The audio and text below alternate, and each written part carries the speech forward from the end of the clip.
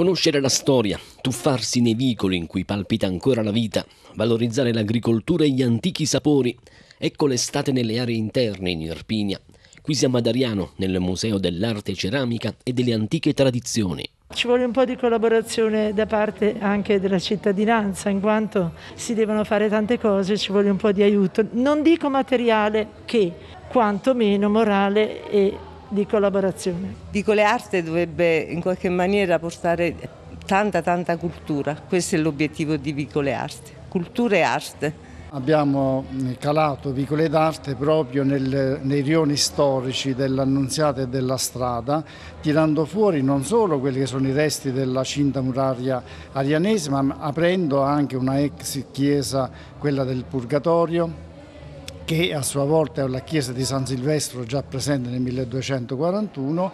Abbiamo aperto un antico palazzo nobiliare dove all'interno c'è un forno cinquecentesco e anche un torchio cinquecentesco appunto per la produzione del vino. È stato voluto tutto fortemente da, da Carmine, veramente fortemente, eh, con tanti tanti problemi, però ci siamo riusciti.